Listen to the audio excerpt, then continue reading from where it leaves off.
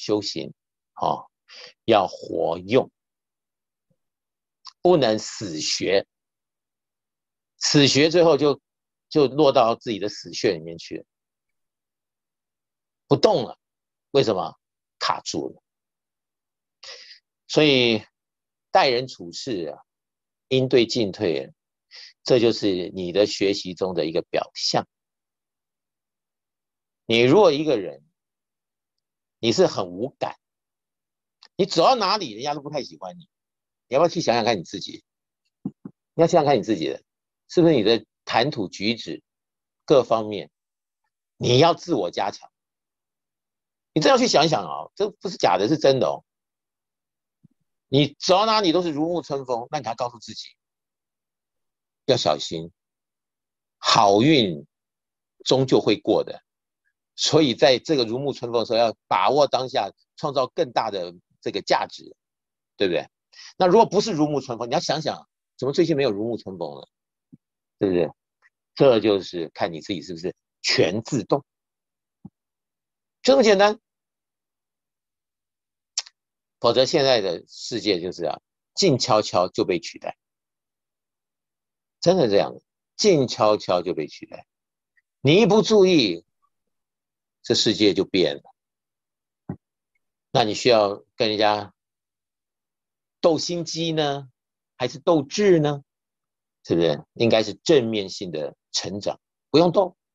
你原来就这程度，别人就自叹不如，是不是？你就跟跟那个马斯克一样，是不是？他想的东西别人想不出来，你想的东西你同事想不出来，你就赢了。老板一定器重你，就这么简单。有没有发现你现在比以前时代更容易飞黄腾达？有没有觉得？有。你千万要觉得。机会、资讯、各种 data 都在你身边，要什么有什么，就怕你不拿。你说 data 怎么拿？实修实练超级生命码系统，你就拿到空气中的 data。一个 data 让你就是今生吃不完了。你说真有这么厉害吗？也许啊，你没有拿到，你说说你会说真的吗？你真的去做的时候，你会发现，哎呀，没有那么遥远。现在的这世界很快速的，你知道，第一下就进步了，第一下就进步了。但是不进步的人，他永远说我不会，永远是这句话，我没学过，我不是科班出身，都是 no no no no no，弄到最后只有可怜两个字。所以在人际中啊，人际关系中。它就是像镜子一样，你每一天你出去跟同事之间的互动，你就可以从他他们跟你的互动中去更正、调整、进步你的这个 input，对不对？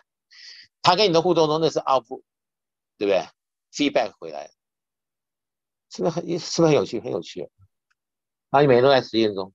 多好，当然好。所以学海无涯。以前觉得有太多东西要学，但现在有太多工具让你学的速度更加快速。所以抓住方向，稳稳住脚步啊，一步一步往前走，速度进步之快，你都很难想象，怎么会进步这么快？一年之间呢，就不能同日而语。